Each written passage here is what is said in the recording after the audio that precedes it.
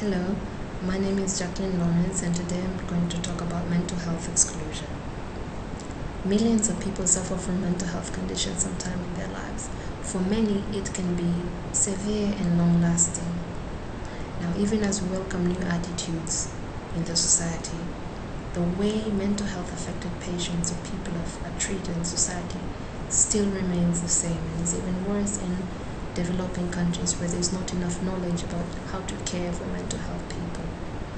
Now, these people can find themselves socially excluded from jobs, family support, family support, proper health care, community at large.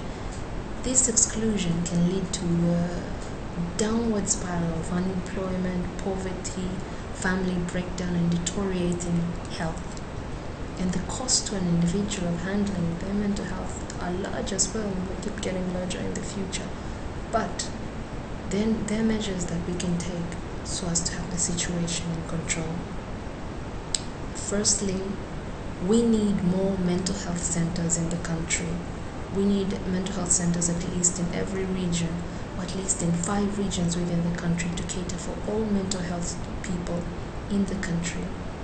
Uh, these mental health centers do not have to be hospitals, they just have to be places where uh, mentally affected people can get psychiatric help. Uh, they can get psychiatric help, activities, games, and things that they can do in order to keep themselves sane and where they can be well taken care of. These centers can, we can start off with at least five centers for the country because as of now, there's only one mental health hospital.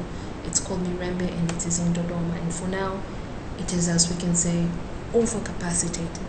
They treat 650 inpatients and 250 outpatients.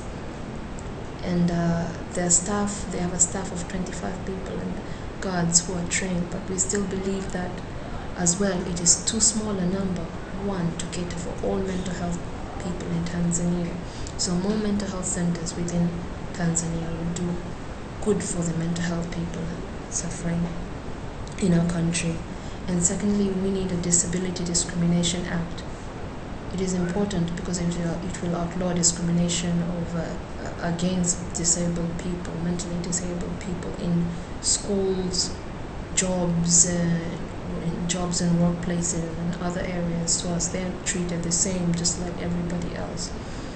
The third thing we need is we need more NGOs to inform people about mental health, how to care for mental health, and how to, and they, these NGOs can fight for these rights of mental health, mental health people and mental health patients, so as they're not mistreated in the many areas where they go, in the many areas that they end up.